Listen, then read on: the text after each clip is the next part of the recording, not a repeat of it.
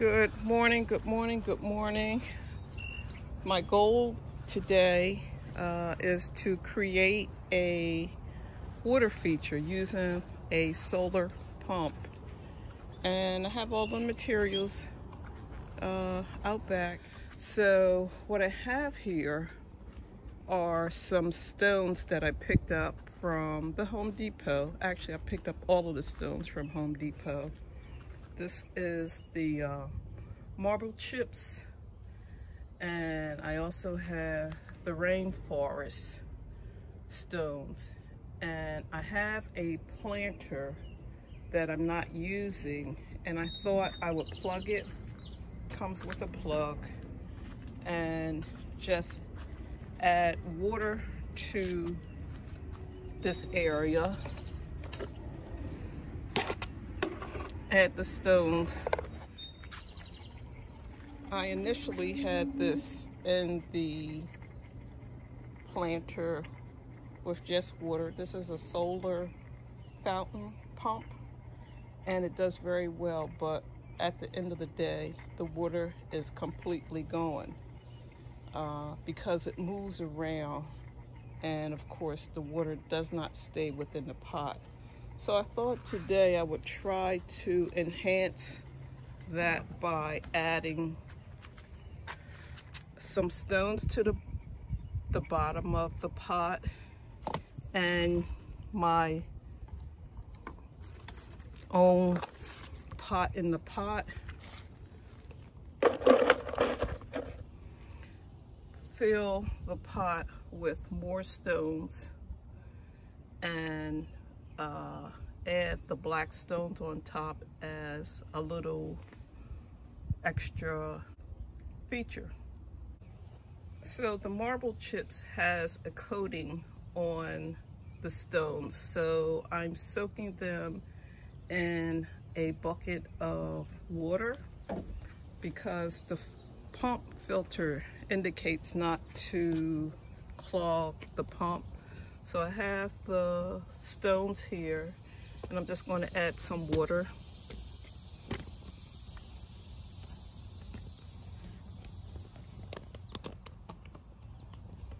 to rinse the stones until the stones run clear.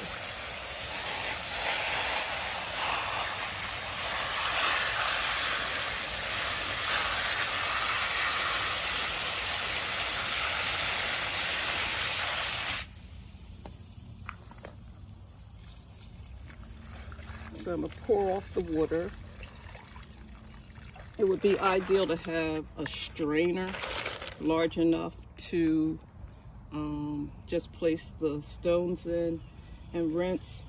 But they're running pretty clear, so I'm just going to add the additional stones around the pot to keep it from floating, to make it more stationary.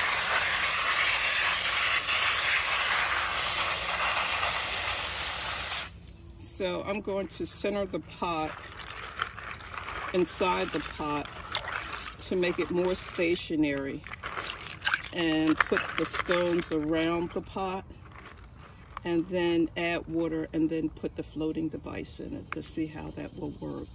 I'm still in the market for a small water feature for the backyard, but I just need to look for something that's going to be in scale with a small backyard.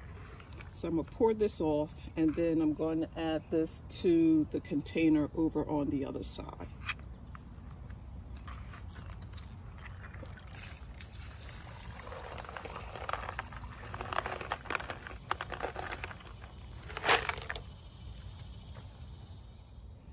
Okay, so the goal is to center the pot evenly on all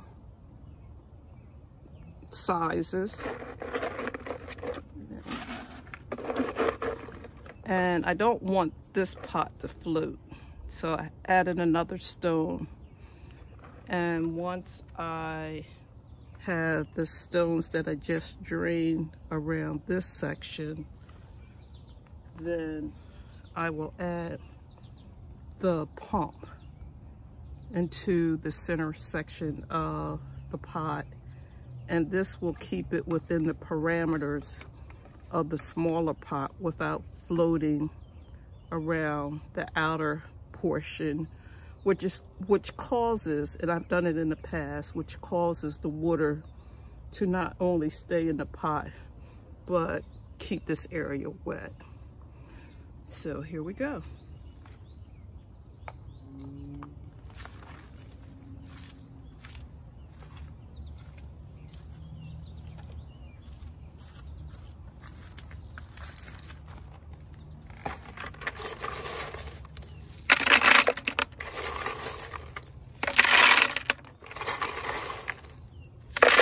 And I'm just eyeballing this, this pot here and hopefully, and hopefully it's, it's stabilized enough that it's right in the center section.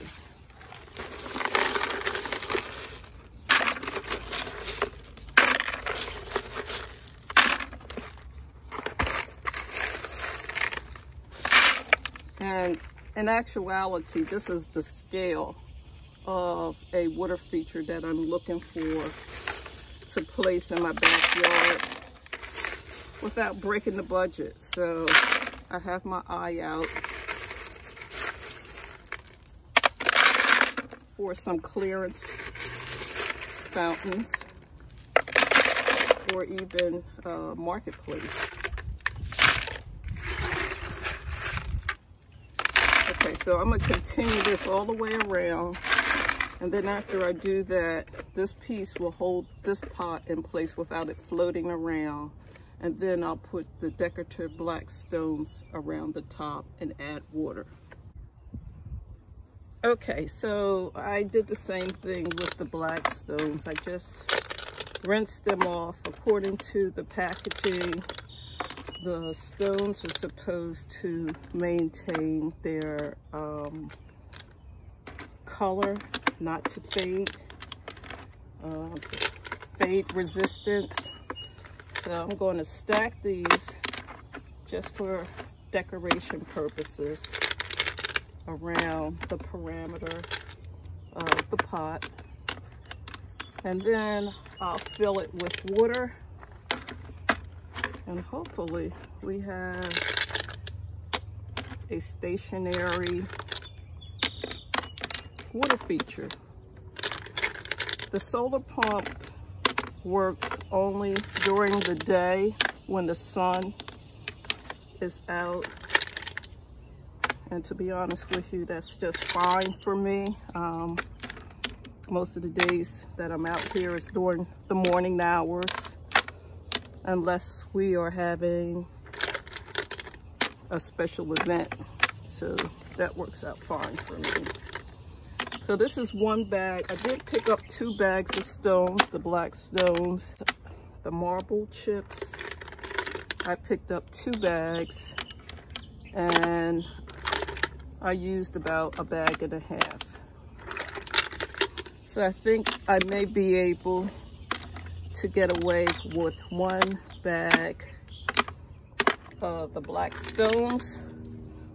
Pick those up at Home Depot. So I think I can return that and make use of the return in purchasing something else. Okay. So here we have it. I'm going to add the water to this part and see what happens.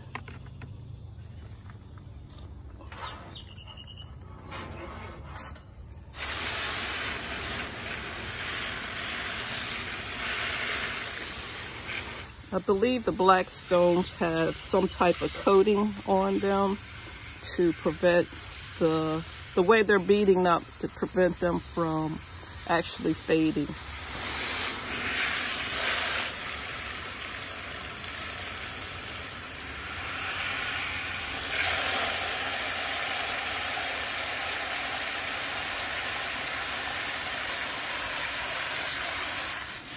Now, even though this is completely full, until the pot itself is completely saturated in water, then I have to keep filling it up because eventually this is going to drain into the larger pot.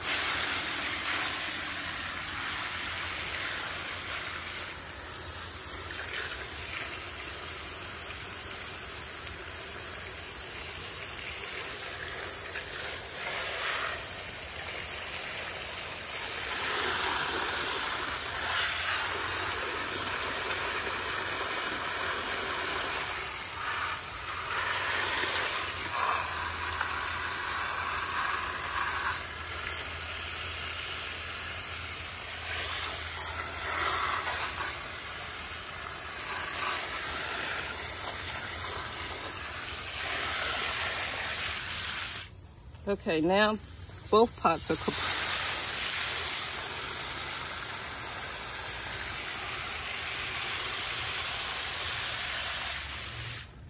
Both pots is completely full of water.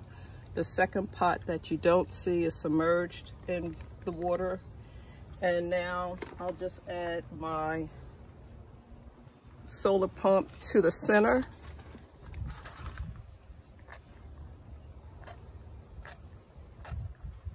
And once the sun actually hits the, I'm standing in front of the uh, solar pump, so it's not going to actually um, spring up, but it's doing exactly what I want. I want it to stay right in the center section of the pond. And I will lose some water, but once the water uh, evaporates, the pump will sit in the center section. I hope you're having a wonderful day. Thank you for watching my video. Please like, share, and subscribe. And as always, happy gardening.